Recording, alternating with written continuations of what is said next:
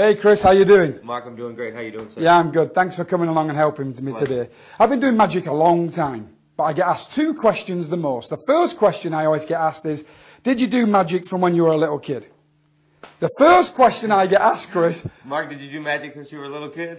Absolutely, it's funny you would ask me that. That's the first question everyone always asks. Would you like to see a picture of me when I was a little kid? Yes, I would. Okay, I've got it just here. I'm a pretty cute kid. This is me. Yes, this really is is me when I was nine years old. I'm a pretty cute kid, aren't I? doubt. Got more hair there now as well. Lots more. Hey, but you can't have everything in life. Now, there's another question I get asked a lot as well. And what's that? Did you have a favourite magic trick?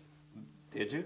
Absolutely, yeah. Right from being small all the way to now, I have a favourite magic trick. Would you like to see it? I'd love to see it. I used to do all sorts of tricks when I was small, card tricks for the family and things, but I was real small and I used to drop all the cards everywhere.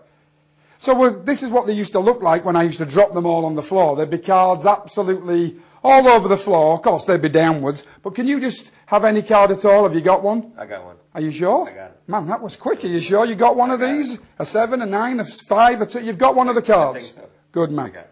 Then I used to do this little trick, which was always my favourite. It was called cards in pocket. This is me. I'd always wave at the audience like this, and I made a little cartoon set, you know, like a little flick book. I'd reach in there, look, oh, reaching into the pocket, I've got something. Here we go. Here it is. Oh, it's Here's red. It's a small card. I'll make it a little bit bigger for you so you can see. Now I'm flicking this real slow so you can see the story. But if you flick it a bit quicker, you can actually see it tells a little cartoon of card in pocket. So there it is. That's my favourite trick from when I was small. There's the card inside the pocket, and that's it. That's your card. It's good, ain't it? Thanks. Very nice. You don't like the ending, do you? Card. Oh no, I still do the trick now. I'm bigger now. I was just showing you what I did when I was nine. Which card did you only think of? It's five of clubs.